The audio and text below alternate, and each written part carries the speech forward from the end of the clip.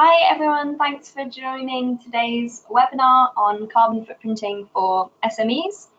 We're going to be hearing today from two of our Carbon Trust experts, um, Sarah Laidler and Imogen Catterall. Um, you'll also have the opportunity to ask any questions you might have. Um, you can type these into the questions pane on the right hand side of the control panel feel free to send these in at any time and we'll go through them at the end during the Q&A session. We'll also be sending out the slides um, after today's webinar and it'll be available to watch in full on YouTube as well. All right, I will now hand you over to Sarah Laidler and Imogen Catterall. Thank you.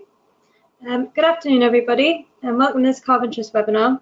Today we'll be focusing on an introduction to carbon footprinting for SMEs. This webinar is provided through the Green Business Fund as one of the range of webinars we'll be delivering targeting at SME organisations. In today's webinar, my colleague Imogen and I will walk you through what carbon footprinting is, why it's useful, and how your organisation can measure a carbon footprint. But first, it's good to give a bit of background and I'll introduce the Carbon Trust. The Carbon Trust is a non-for-profit organisation whose mission it is to accelerate the move to a low-carbon economy. We work with a range of organisations to develop tools and strategies across the globe to combat, to combat climate change. Our experience was with SMEs, governments, and both organisations within the public and private sector. Within this slide, there's just a few of the clients that we have worked with over the years and some brands you might already recognise. So hopefully most of you will understand what climate change is and how it's a problem for both governments and businesses. But to set the scene, we can discuss some background and information around the problem. This graph shows the total anthropogenic greenhouse gas emissions from 2000 to 2010, were the, were the highest in human history. To accompany this, since 1998, we have seen some of the highest temperatures across the globe over a century period. To address this, to address this, organisations have begun working together. The 2015 Paris Agreement allowed for a platform for governments to pledge to keep the global warming temperature below 2 degrees to minimise irreversible environmental damage. Although governments have taken a stand on this, it still falls on the businesses to contribute to lower their carbon footprint also. Since then, many businesses have developed science-based targets, which is a joint initiative between the CDP, the UN Global Compact, and the World Resources Institute and WWF as well. What this means in simplest terms, a science-based target is a target for organizations to meet to keep global warming below 2 degrees. Over 525 organisations so far have made science-based commitments and some have begun to introduce carbon pricing and electrification to their company fleet. Before all this, however, uh, companies have begun to measure and monitor their carbon footprint as a benchmark. I'll now hand over to Imogen to explain the ins and outs of what carbon footprint actually is. Okay, so a carbon footprint is the total greenhouse gas emissions caused directly and indirectly by an individual, organisation, event or product. And this is expressed as a carbon dioxide equivalent, so CO2e. So the main greenhouse gases are carbon dioxide, methane and nitrous oxide. So carbon dioxide arises from the burning of fossil fuels such as coal, oil or gas. Methane is from cattle and other mammals who chew on cud Methane is also produced from decomposing organic waste, manure, leaking natural gas, land transformation, and rice production. Nitrous oxide arises from agriculture through fertilizers and crops. So alongside this, there are also a much longer list of gases contributing to carbon footprints, such as refrigerants, including HFCs, PFCs, and SF6. So refrigerants can be liable to leaks and should be checked regularly. Um, these are all combined to calculate a carbon dioxide equivalent value using the global warming potentials, which account for the different impacts of these gases. So the carbon emissions equivalent is the volume of activity, for example, and how much electricity or gas is used. Um, the volume is then multiplied by the emission factor, which can be found through BEIS, and so we'll touch on this a little bit later. Um, to calculate an organisation's total carbon footprint, you can then sum all of the carbon dioxide equivalents, for example, the carbon dioxide equivalent used by electricity, gas and refrigerants. So measuring your carbon footprint will mainly consist of scope one and two emissions, but business travel should also be considered when, which is in scope three emissions. So this includes um, private cars and airplanes. Um, the scopes are split out by the Greenhouse Gas Protocol, which is widely used standard that sets out how to account for your GHG emissions. It categorises emissions into three groups or scopes. So scope one consists of direct emissions that result from activities within your organisational control. This might include on-site fuel usage, gases, um, manufacturing and process emissions, refrigerant losses and company-owned vehicles. Scope 2 are the indirect emissions upstream from the organisation from any electricity, heat or steam you purchase and use. Scope 2 emissions are emissions that you're not directly um, accountable, are not direct. Um, for example, when you use Scope 1 emissions such as gas, you can see it being used in front of you, Whereas electricity, it has already been created by a power company, but because you are using it, the power you have to account, um, that power you have to account for those emissions. This means you are indirectly responsible for the release of CO2. Then scope three includes all other indirect emissions from sources outside of your direct control. Scope 3 emissions include all upstream and downstream emissions not, including in, not included in Scope 2, for example, purchased goods and services, use of sold products, employee commuting and business travel, outsourced transportation, waste disposal and water consumption. Um, finally, to calculate your carbon footprint, it would be recommended to include scope 1 and 2 emissions, which are highlighted uh, on the slide. Um, things such as fugitive emissions relate to any emissions that are associated to air conditioning where you use refrigerants. Later in the presentation, we'll run through examples of how to calculate emissions from scope 1 and 2 um, which could be gas or electricity consumption. Both your Scope 1 and 2 emissions lie within your own operations, whereas Scope 3 emissions will extend further upstream and downstream of your value chain. What we mean by looking at upstream is the emissions of your suppliers, so everything that happens before your operations take over. Um, that can include production, transportation, manufacturing, processing for everything that you need to get into your, your operations. Um, looking at downstream, that could be if perhaps your organization makes a product, what is the emissions associated with that product downstream? It can include distribution, processing, the actual use of it, and also the end of life treatment as well. But as a starting point, most organizations will begin with their own operations and then look to explore the whole value chain. So why is it important to calculate your carbon footprint? So there are a number of reasons why it's an important step for organisations to take. So an organisational carbon footprint can tell you where the main sources of consumption are and also show you how committed an organisation is to reducing them. Um, so it's important to calculate your carbon footprint as it helps manage greenhouse gas emissions.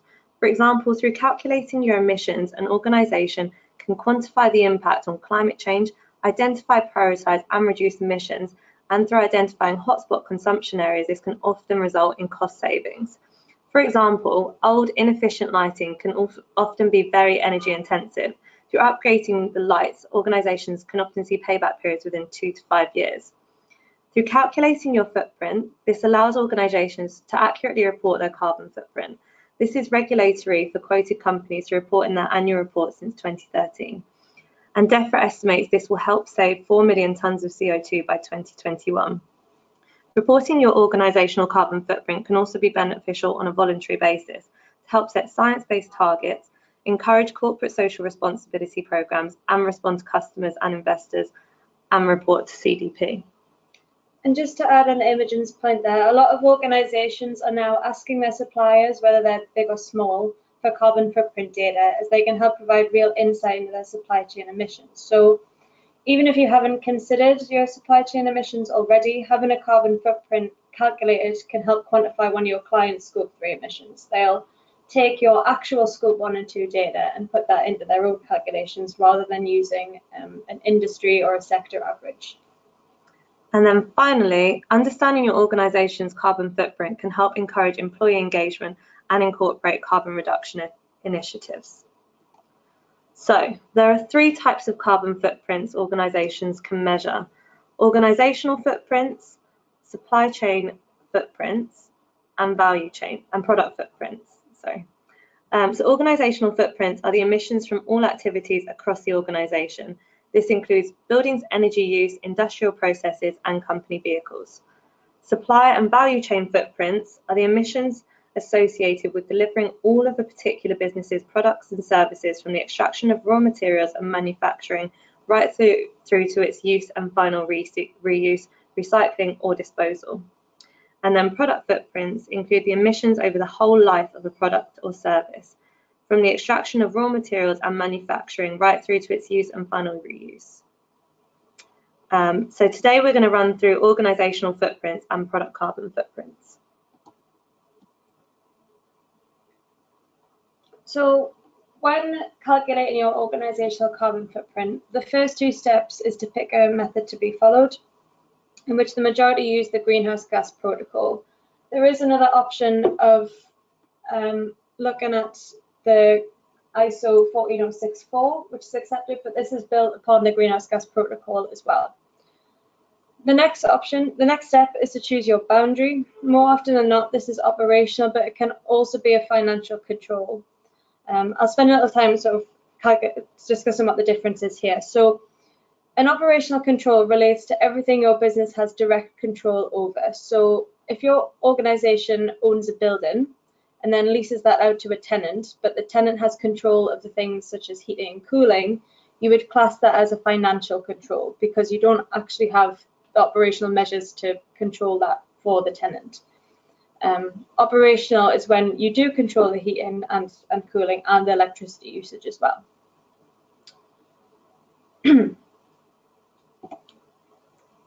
So to calculate your carbon footprint, you need to collect and collate data relating to scope one and two emissions. This can be through primary data or estimations available. In the next few slides, we will go through how to understand your primary data and how to calculate consumption based on estimation. The best form of data would be primary data. This can be from invoices from your electricity and gas providers. Primary data directly reflects the amount of resource consumed, for example, the kilowatt hours of electricity consumed at a site or the litres of fuel consumed by the vehicle fleet. This should be collected and provided wherever possible. So this is just an example of primary data from electricity invoice. So the invoice is split into day unit charges and night unit charges, outlining the consumption and meter read for the, for the month of March. So the meter read is highlighted in the red circles. This outlines the current consumption on the meter since installation. The meter read can be compared against the meter in the property to check consistency. It would be advised to provide your energy providers with actual readings taken from your meter to ensure the figures are as accurate in terms of consumption as possible. So the kilowatt hours are highlighted in the green circles. Um, so they're the units used during the month um, indicated on the invoice. So for this invoice, there's 2,600 kilowatt hours used during the day and 20 kilowatt hours used, used during the night.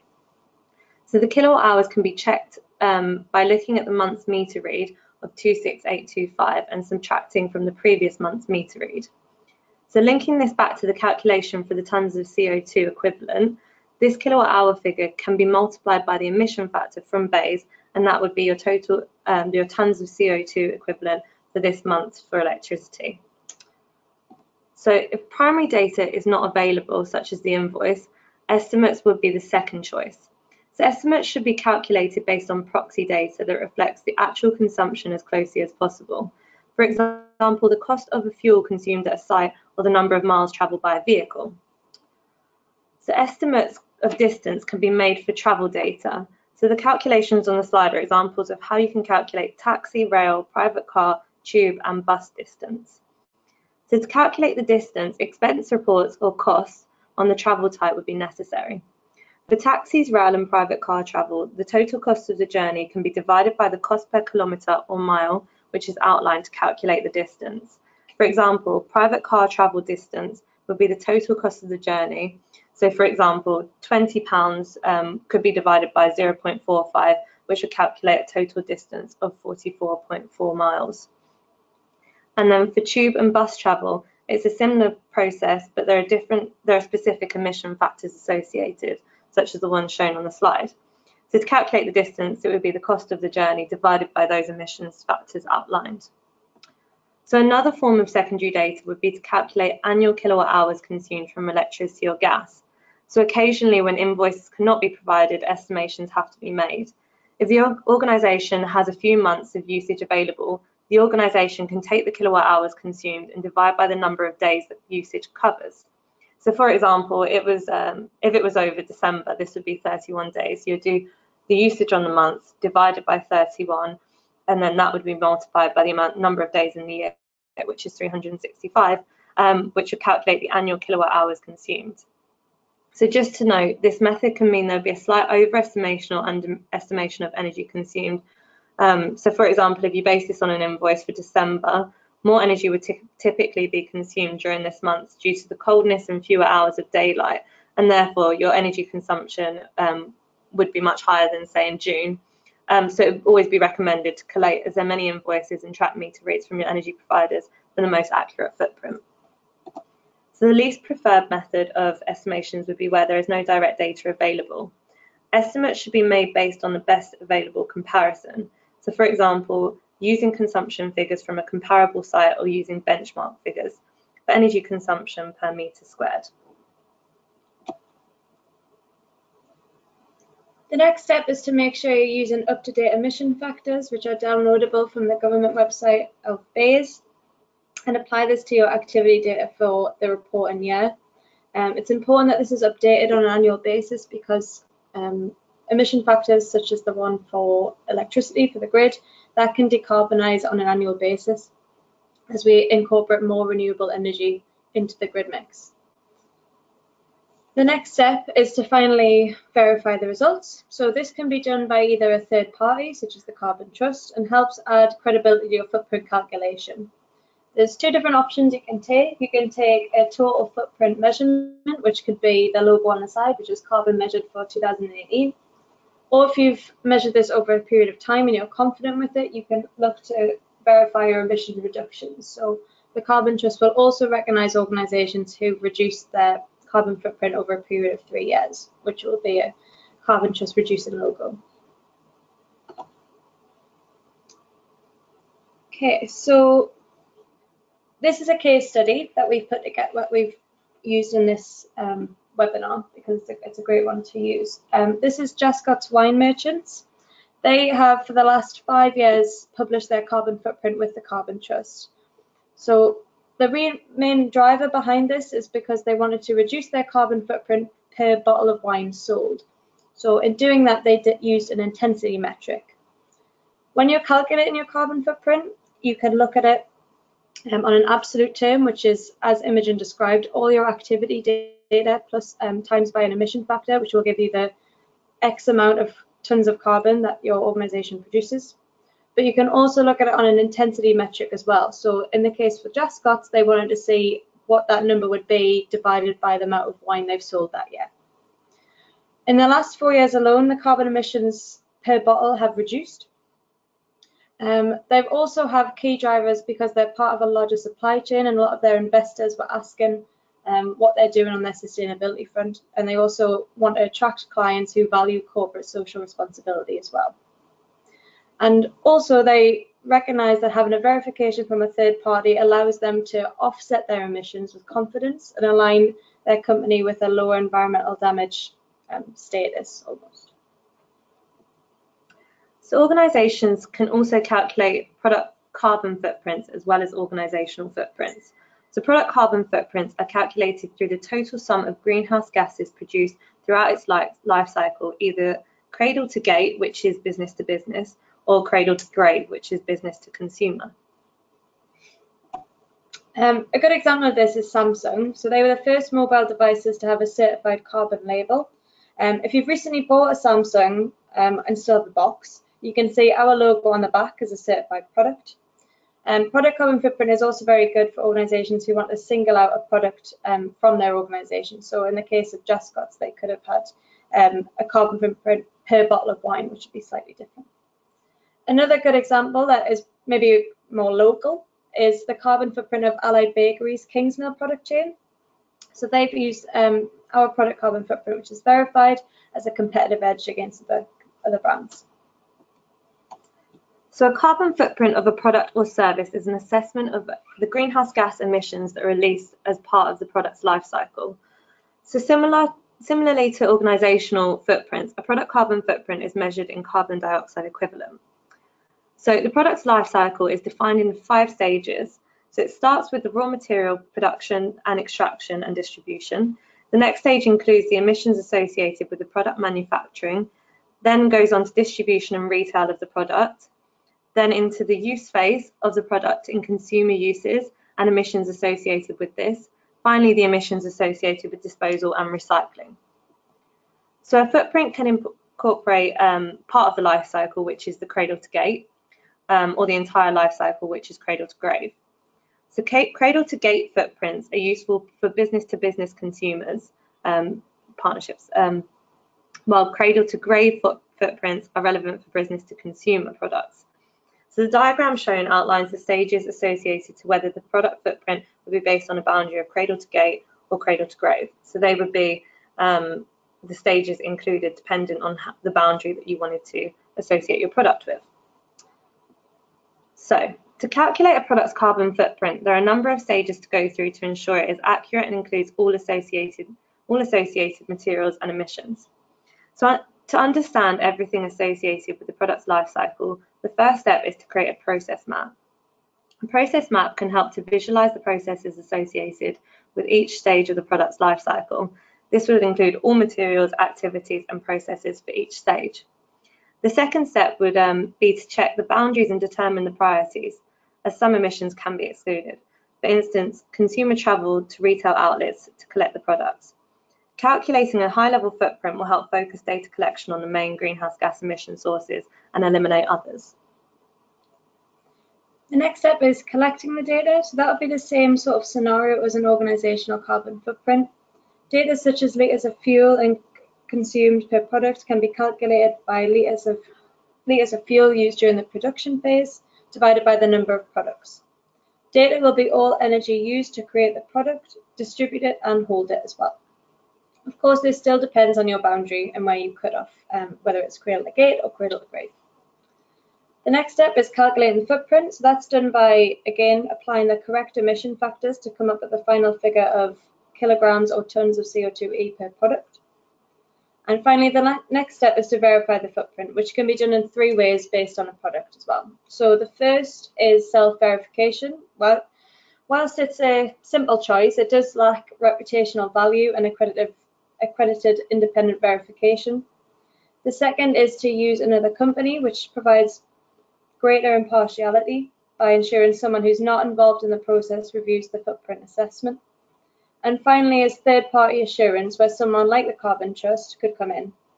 This option provides the greatest certainty and um, impartiality in the accuracy of the footprint, as the verifier has also been independently certified by the nat national accreditation body.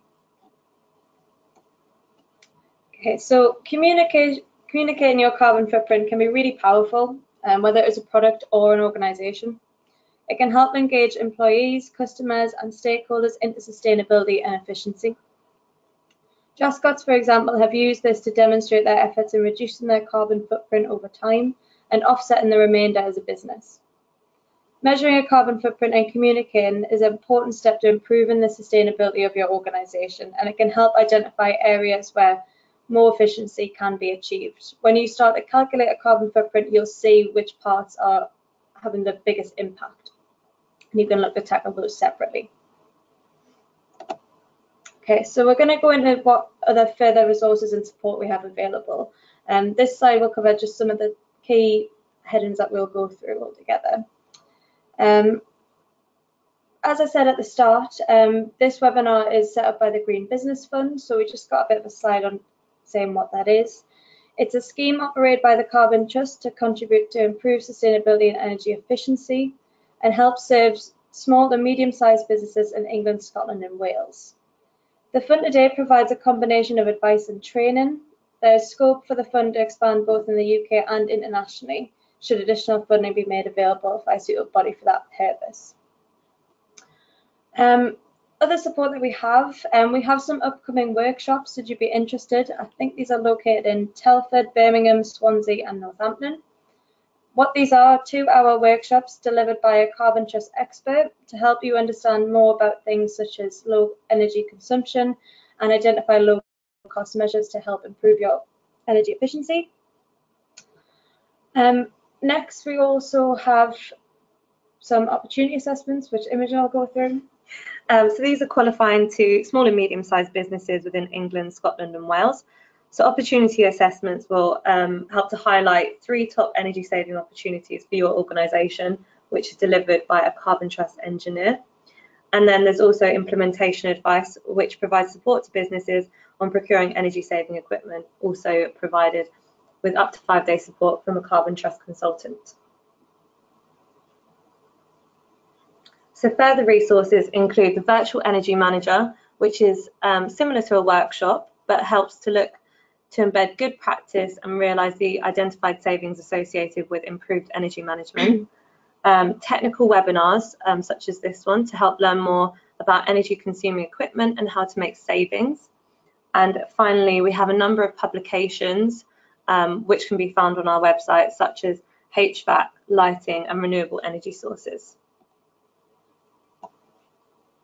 Okay, so we also have some energy saving tools available to use now. So this includes a carbon footprint calculator, calculator which calculates your footprint into scope one and two emissions. Once you've calculated yourself, it's always a useful tool to check, even if you're used for reporting. Um, you can also then benchmark your energy use to see if you're performing within the average of your sector. And additionally, we also have further tools to look at a deep dive on how to build a business case for low low cost energy efficiency measures such as lighting upgrades. So I think we've got time now to just give you a bit of a demonstration on how this works, how it's easy to use. okay, so this will be provided in the slides that we give out today as well. I'll put the link in the bottom. So if you just go to start, enter my data. So we just go with company X 2018 or whatever reporting period you wish to check. Building X. Um, let's go natural gas. So if I just type in 45 in kilowatt hour,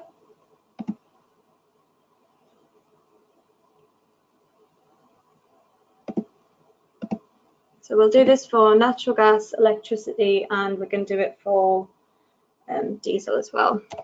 So we'll assume that this fake organisation has some fleet.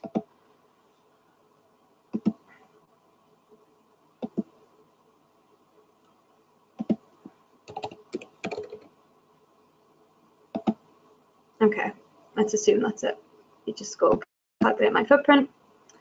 And this will break it down into the scope one emissions, which is your direct energy processes, and your scope two emissions, which is indirect, just purely from electricity as well.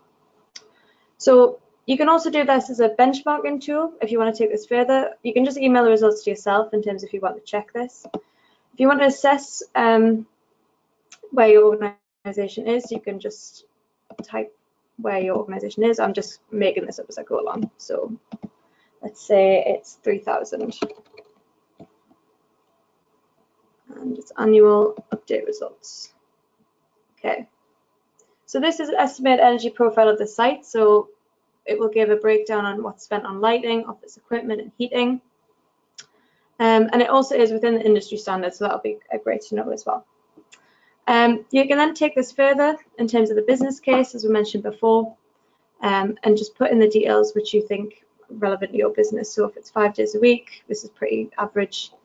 Um, if you know your energy spend, let's say you've got no daylight sensors, high bay, enough natural light, yeah, and you can find default cost data. Let's see. Um, no, I can't actually see because the everyone in the way. there we go. There. So you can start looking at building a business case for the investment and saving and average payback period. It also pumps out a rough est estimate on what you could save by upgrading to, your, to an LED-based system as well.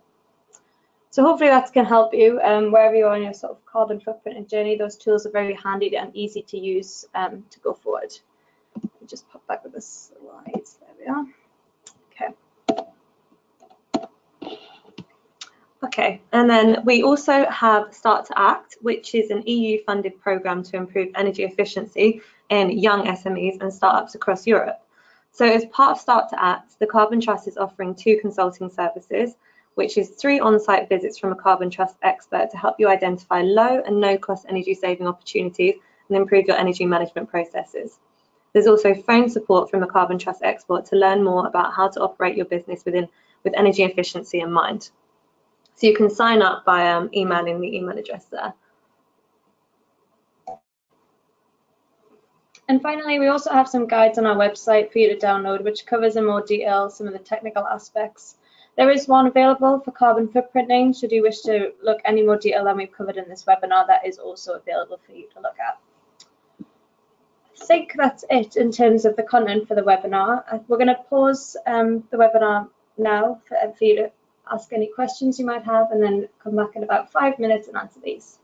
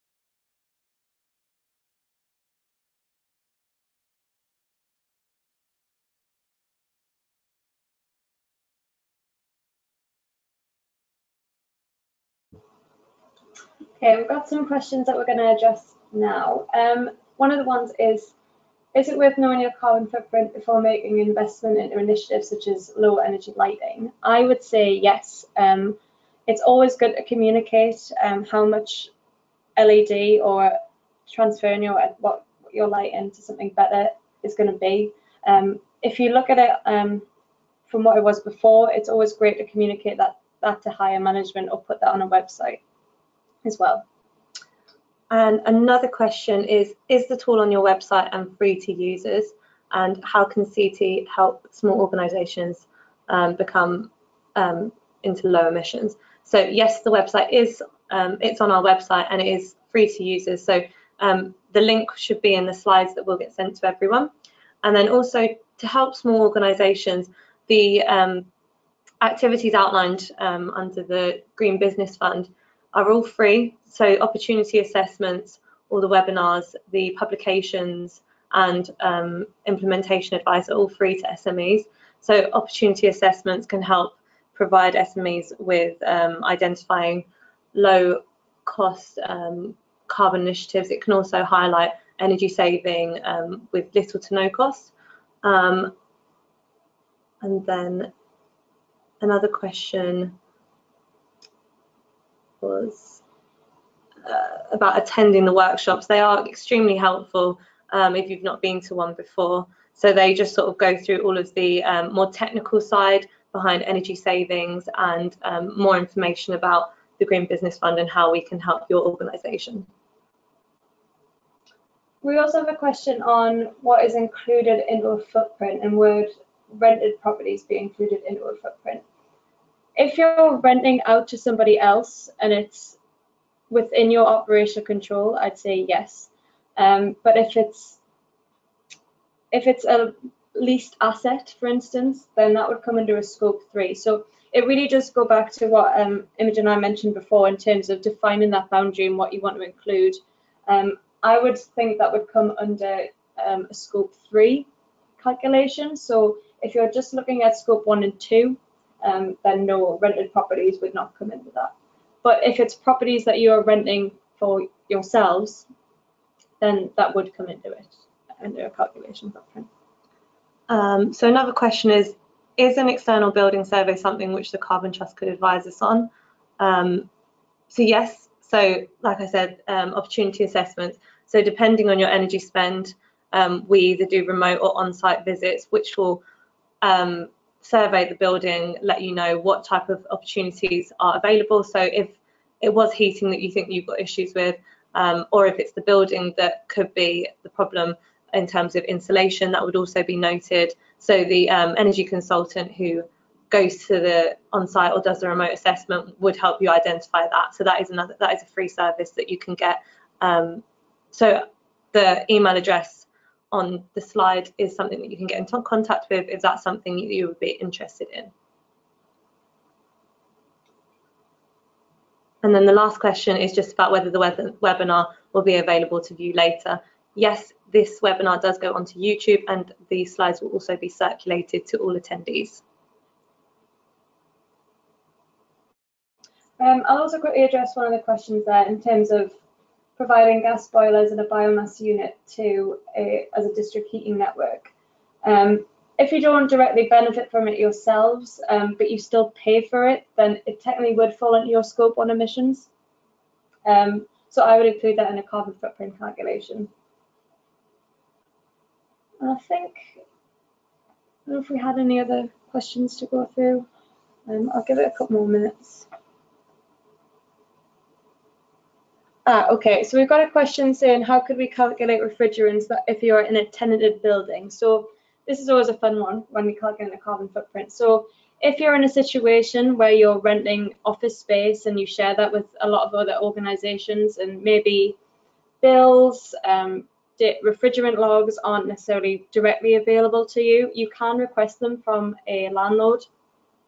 And what will happen there is that it will be proportioned out to you in terms of um, your floor area, for instance. So if you occupy two floors, then you will have two floors worth of that um, consumption, whether it's um, refrigerants or electricity as well. Um, so there's always that way to get around it as well. It's always just worth asking that um, asking that question.